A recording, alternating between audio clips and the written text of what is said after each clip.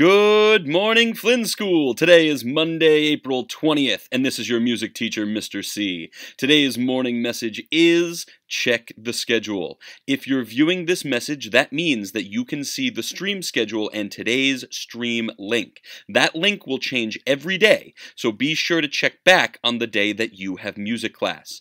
The stream will start promptly at the beginning of music class time, so if you want to catch the stream, please be on time.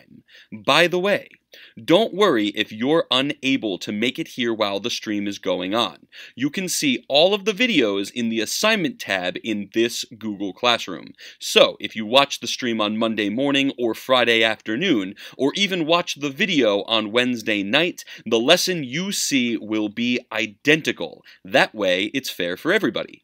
Now, the lessons are not going to take up my whole class period. They're actually fairly short. That way, after the lesson is over, you have time to complete the assignment right away and turn it in to me. You can either email me your work or turn it in using Google Classroom. As always, if you have any questions, you can send me an email or post here in the Google Classroom, and most importantly, don't forget to live the dream.